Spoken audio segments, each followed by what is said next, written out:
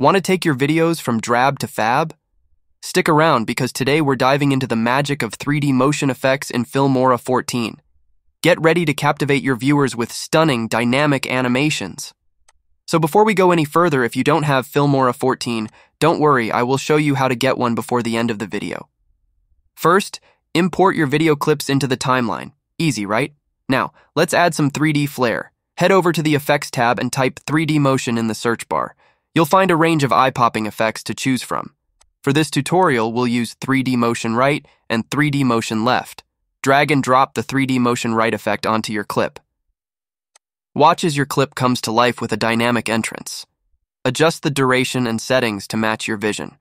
Now let's add the 3D Motion Left effect for a seamless exit. You can also edit the 3D Motions effect by going to the Effect panel.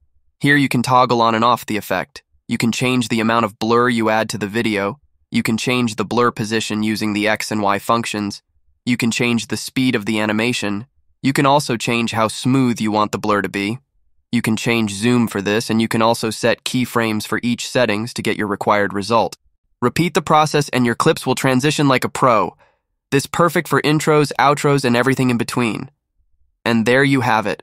Your videos are now bursting with 3D magic.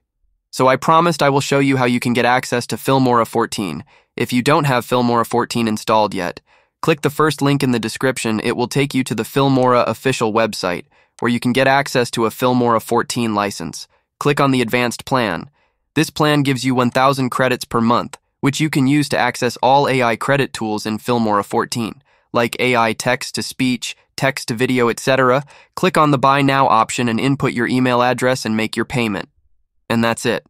Congratulations, you got yourself a Filmora 14 license. If you are interested in learning more about how to edit better videos with Filmora, I recommend you check out the Creator Hub.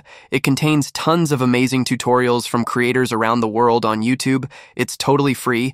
I will leave the link in the description for you to try it out. Don't forget to like, subscribe, and hit that notification bell for more awesome tips and tricks like this.